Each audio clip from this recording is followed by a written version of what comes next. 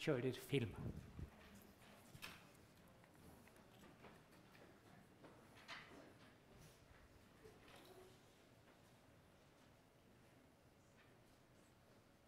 Akkurat nå så satt vi på kafé. Så vi jo Lishama. Og i dag så har vi med rullestol. Det er akkurat når vi setter oss i Jeg setter meg i den, og øh, vi kom inn på kjøpesenteret, så fikk melding på joysticken. Da var det eh, hjulene som ikke satt helt på. Men det ordna seg, da. Telefon til teknisk på hjelpemiddelsentralen. Da fikk vi eh, fikk vi ordna da. Og så ble det i nå sitter vi her på kafé og slapper av. og Får oss litt mat på den ene og den andre.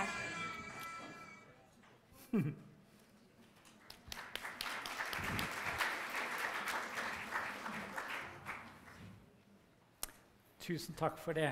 De to som kom opp nå, det er Anette Remme, som er i Unge funksjonshemmede, og så har vært leder i programkomiteen for Sjeldendagen. Og så er det Christian Christoffersen, som er direktør ved Frambu.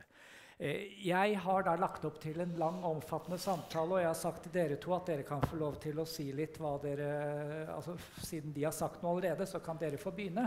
Men eh, vennligst dere ikke si alt det dere hadde tenkt å si. Eh, Anette, hvor syns du eh, Hva er det som på en måte er viktig å få sagt nå helt på tampen av dagen, syns du?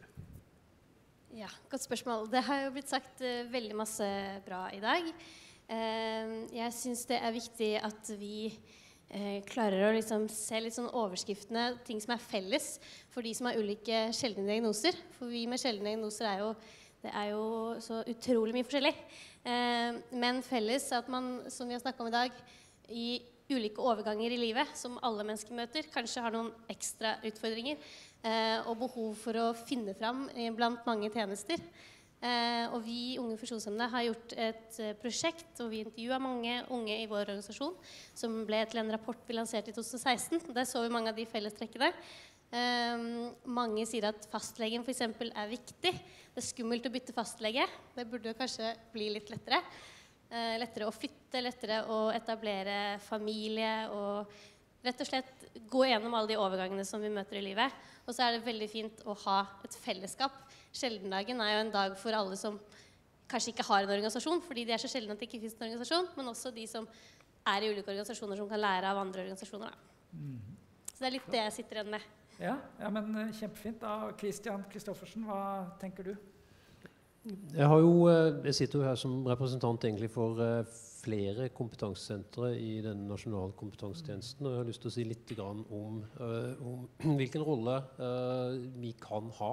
Vi er jo da eh, et ytterligere ledd i forhold til både lokal, lokale tjenesteytere og, og tjeneste, det nivået i spesialisthelsetjenesten. Vår viktigste oppgave er å bygge og formidle kompetanse om sjeldne diagnoser. Og da er jo spørsmål, I denne konteksten så blir det da å formidle kompetanse som er knytta til det med overganger. Og eh, det avgjørende spørsmålet blir jo da hvordan vi kan formidle kompetanse på en måte som gjør at de fagpersonene som er i daglig eller jevnlig kontakt med eh, en person med en sjelden diagnose, faktisk eh, kan gjøre en best mulig jobb.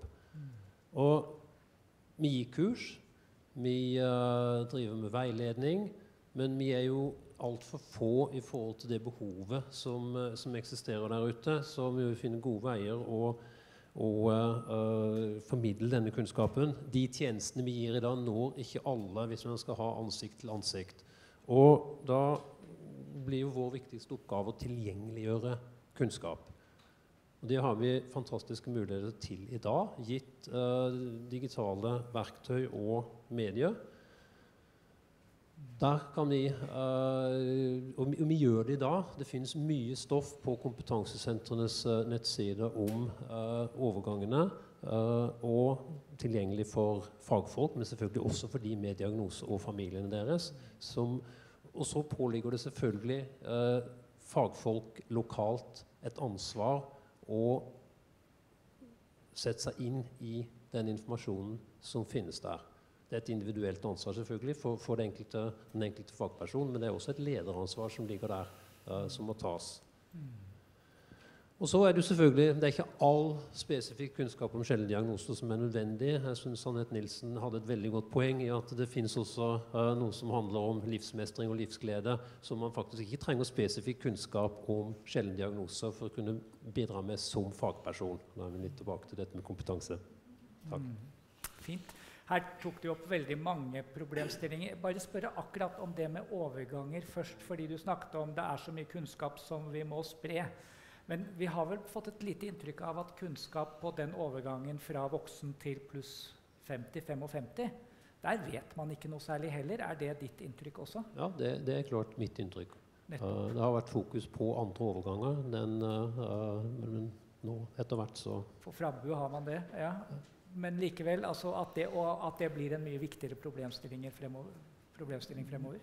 Det blir helt sikkert en viktigere problemstilling framover, men det er også behov for mer kunnskap om andre overganger, og det er behov for mer bistand på de overgangene.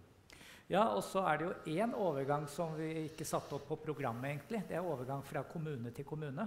Ikke sant? uh, og det er jo, Nå har vi hatt opp det der med, med velferdsflyktninger to ganger. Uh, Monica, da du hørte statssekretæren, mm. uh, forutsatt at du trodde på henne, Mm. Tenkte du at dette løser alt? Nei, klart det gjør ikke det. Og det handler jo om, at, det handler jo om flere ting. Og det er fantastisk at hun sier, eller at det står i, i den nye regjeringsplattformen at bl.a. BPA at det skal ses på som et likestillingsverktøy fremfor en helsetjeneste. Det er jo en fantastisk ting. Eh, og vi vet jo at i lovverket så står det jo helt spesifikt at alle kommuner skal tilby BPA.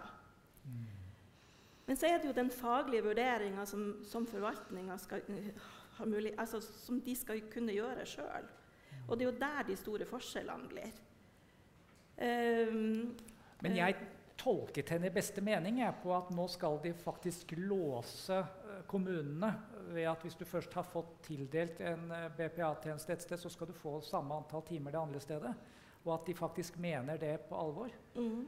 På en måte så altså, en, hvordan ville det ha vært for meg, da, som hadde null timer, og flytta til en kommune som jeg fikk fantastisk altså, ikke sant? Så det er ikke bare bra med det.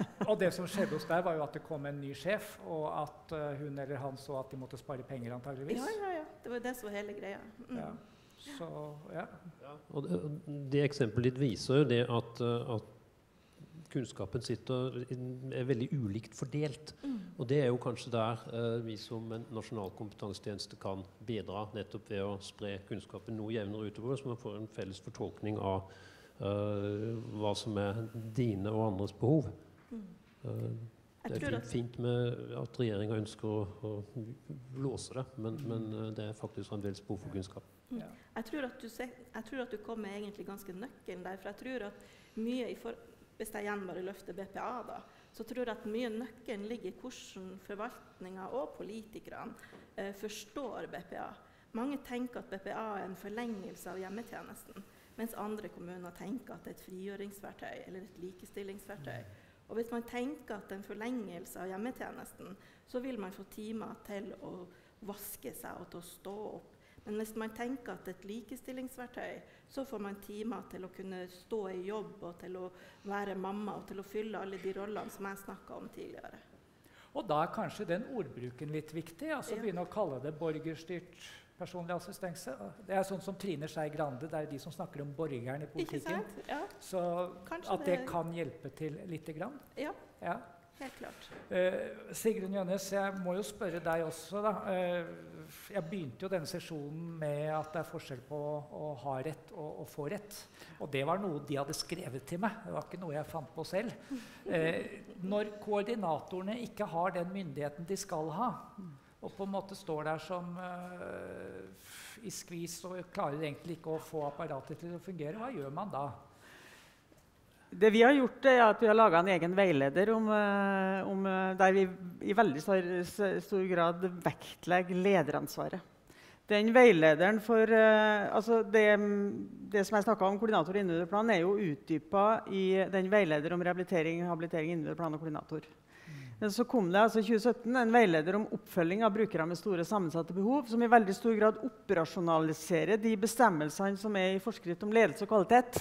Der vi løfter fram det her med at skal en få til koordinering, så må lederne understøtte det. Vi kan, vi kan ha, ta det som et, et lite bilde at uh, en koordinator er en som går om bord i båten til brukeren. Og Da følger du med i, i de dønningene og i de skjæra en støter på. Og Det sier seg sjøl at det, det, er en ganske krevende rolle. Du får en medopplevelse og en helt annen innsikt i hvordan uh, brukerne uh, opplever tjenesten. Og Det gir jo en, en kjempeviktig kompetanse som gjør at du kanskje endrer deg som fagperson. Og Derfor er det også så viktig at koordinering integreres som en del av fagutøvelsen. At det er koordinatorer som har den rollen. Men sånn kan også ledelse, føre til at koordinatoren blir like frustrert som ja.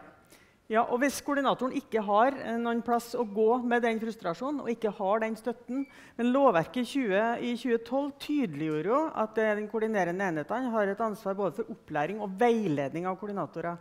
Mange har etablert gode løsninger på dette, men det er for stor variasjon.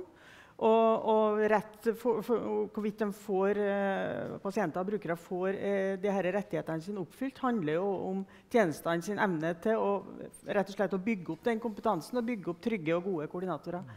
Som jeg tror er viktig òg på det temaet her om gode overganger. Altså sikre dobbeltsømmen. Eh, som, eh, som, må være der på, på tvers av eh, sektorer og livsløpsoverganger. Mm.